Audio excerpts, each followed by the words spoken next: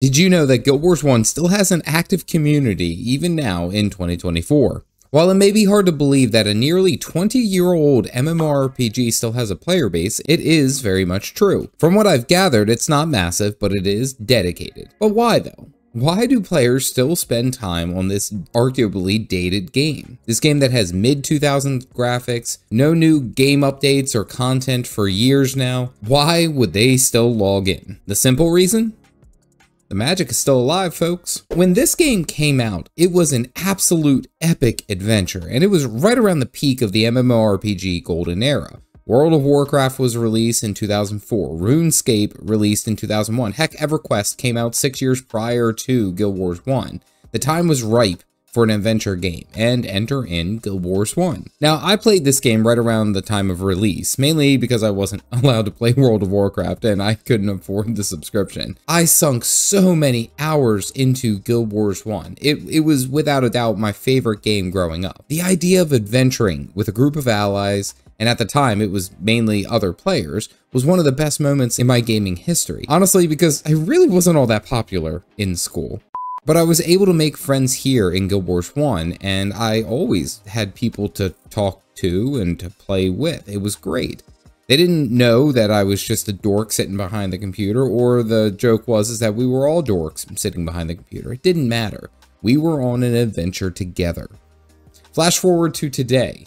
Tons of MMORPGs have come and gone, WoW dominates much of the scene, Final Fantasy XIV is massive, Guild Wars 2 has a dedicated player base, and more. But there still remains a dedicated group of Guild Wars 1 players who log in near daily to play this game. And in my opinion, the reason is simple. Guild Wars 1 has one of the most nostalgic MMORPG experiences in the genre. Legitimately, it captures the sense of adventure and magic in such a perfect package. But first, let's talk about what the game isn't. Even though Guild Wars 1 falls technically into the MMORPG genre category, I like to think of it more of an instanced party-based ARPG which now that I say that only convolutes the whole categorization thing. While yes, you still do have the traditional MMO aspects that you would expect, classes, character customization, questing, the main story, it, it can all be self-contained and done solo without the need of any other players. And having said that, the game does have the MMO background, as you can, of course, party with other players and go out questing and, of course, doing the whole RP thing. But right from the start, they had a way to essentially fill the gap. You could utilize henchmen or heroes. Henchmen remain basically the bread and butter of a lot of your group composition, and the heroes are the simple named characters from the Guild Wars lore who can also be leveled up and customized, especially with their own skills. And these are mostly done through just unlocking quests. So really, who needs friends? The gang's all here. Despite the debatable genre placing, Guild Wars 1 has, of course, faded out of the limelight when Guild Wars 2 was released. Despite two major campaigns, an expansion release, and multiple content updates through the years following the 2005 release, it ended up just being less and less well known. Actually, I wonder how many people play like Guild Wars 2 and really have no idea what the predecessor is. I mean, I'm sure they would assume Guild Wars, but but I'm sure that there's people who have never experienced Guild Wars 1. And of course, with those mid 2000s graphics and a wildly more popular successor, it should, by all accounts, have been put into the box of games that we played when we were kids and no longer care for. But that's not what happened. As I've stressed early on, the game's strongest suit here is adventure. It really does the epic story that spans across the entire massive continent of Tyria as well as, in my mind, the perfect setup for skill and challenge. The main story prophecy starts out in an idyllic, grassy, green, and happy land of Ascalon, and after you get your bearings and level up a few times, all hell breaks loose when the evil kitty cats known as the Char basically set off a fire nuke on your city, called the Searing. This spurs you and the survivors on a journey not only to save your people, but to stop the evil that is lurking in the shadows to destroy the world. To me, that doesn't sound anything less than a pure good old-fashioned classic adventure. Of course, the main character of this journey is you, but unlike other MMOs where you basically become a god, Guild Wars forces you to understand how insignificant you actually are. See, Guild Wars 1 has a level cap of level 20, meaning that there is only so strong how your character can become. This naturally makes later missions and open world more and more challenging as you cannot scale infinitely, but it also creates a really fine balance for the game in all the best ways. Guild Wars also offers dual classing. Literally, you can create a character of your main class and then choose an off class to pair and mix and match skills as you see fit, allowing for all sorts of crazy builds and compositions but of course none being more important than the Warrior Monk, the OG. Of course there are gear upgrades, and those do help, and skill choices very very important. The most critical aspect of this game is its party composition. It really forces you to fine-tune your skills for the mission on hand, to be sure, but that also that but that really pales into comparison of how important the right party members are. It can be incredibly challenging to go out and solo missions on your own, although not impossible.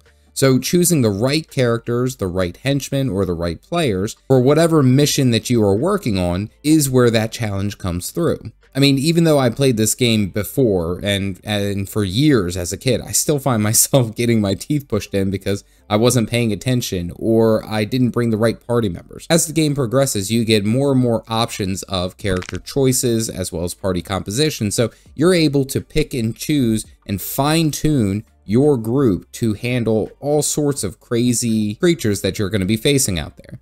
But even with all this, why does this game still attract attention? With other recent games released into the MMO niche, updates on the heavy hitters in this space, Guild Wars 1 still has a player base. And I can believe truly for a couple of reasons. The first, of course, is that it is that classic MMORPG experience perfectly the sense of adventure, the whimsy, so called, of exploring with a ragtag group of friends, or, well, fake friends if you can't afford real ones. it creates an atmosphere of working through a puzzle as a group, which is just really unique, even now. The second major reason that I can think of is that the game has remained relatively unchanged for over a decade. And even with its wild popularity at release, many of the veteran players may choose to simply download it and play it just to get that nostalgic feeling, that nostalgic hit that they had that they experienced when they were younger. And honestly, that's something that you can't even really replace with yeah, all these new games and new MMOs that come out. And lastly, it honestly just keeps it simple. I venture a guess that many players of Guild Wars 1 have busy lives, families, careers, and, and I myself categorize myself in there as well. We're busy adults. And Guild Wars 1 doesn't really care about the hype, or I should say the pressure of keeping up with dailies, or binging the new release of game updates, or grinding tons of gear to be on the same level as your guild or your friends to be able to progress a certain tier of content. As a note there, that doesn't mean that there isn't any grinding to the game, but simply put, it's not like the WoW situation where you're grinding mythic pluses. No, simply put, it really has an ongoing appeal of a simple MMORPG experience without the financial or time restrictions or constraints. Play how and when you want. Now, Guild Wars 1 isn't totally unique in that regard, however, I do feel that it does the best. I also may be very biased with this. This doesn't mean that this is the only reasons that why people still play this game. For example, you can complete unique achievements and goals in Guild Wars 1 to earn rewards in Guild Wars 2 which can be like the title God Walking Amongst Mere Mortals, or the Fiery Dragon Sword, which allows you to have the same Fire Dragon skin in Guild Wars 2. There's tons of reasons to be able to play this game. Of course, if I'm going to talk about Guild Wars 1, I also have to mention the PvP in this game. While of course not at the height of its glory back in the original release days, PvP is one of my favorite memories of this game. You can create characters simply just by making them focus only on PvP, and that means of course no PvE elements, but you jump straight into max level matches. There is of course a small tutorial and such, and you basically get to try out any of the classes you would like, depending on whatever expansion that you own. Guild Wars PvP was such a great time. There are so many different combinations and skills and builds that you can put together that it is quite literally its own giant entity of endgame. I remember spending countless hours trying to come up with the best warrior monk build that would be able to survive and deal a ton of damage and I just had all these fantastic dreams even though I would get my face pushed in by a touch ranger. Nowadays, there isn't as many people playing, as you could imagine, but that doesn't mean that there isn't anyone. Queue times can be a little bit longer, of course, but you can still join up against other players, and albeit they're probably a lot more skilled than I was, I died I died a bunch. Keep trying to make that warrior monk combo work. I don't I don't know what happened to lay on hands. I remember lay on hands, but Regardless, PvP is still very much alive, and it only adds to this fantastic game. It's a whole subsection that this game is still producing on. It's amazing. Now, I also like to bring this up because I haven't fully confirmed it, but perusing what Reddit threads I could see, it seems like the game really still has developers tied to it. Basically, the game does run itself with no issue, but it does appear that there's like one or two people who are still working on this masterpiece. I found that very interesting. But why in 2024? Why would I stand before you and say that the magic is still alive in Guild Wars 1? Well, for me, the game simply does what modern MMORPGs do not. Guild Wars 1 allows me to experience that classic questing adventure in a day and age where speed and novelty are rampant. Many games, and rightfully so, try hard to be unique, to stand out, to do what hasn't been done before. And while yes, that is important and necessary for the progress of this genre, it also loses some of the heart of why the MMORPG genre is so damn good setting out on an adventure, growing in power gradually, overcoming massive challenges with friends or fake friends, capturing that really great immersion of you being the hero. That to me is, is the magic that Guild Wars 1 does, and that's why it stands out. Now, I would be lying to you if I said that I play Guild Wars 1 all the time. I, I certainly do not.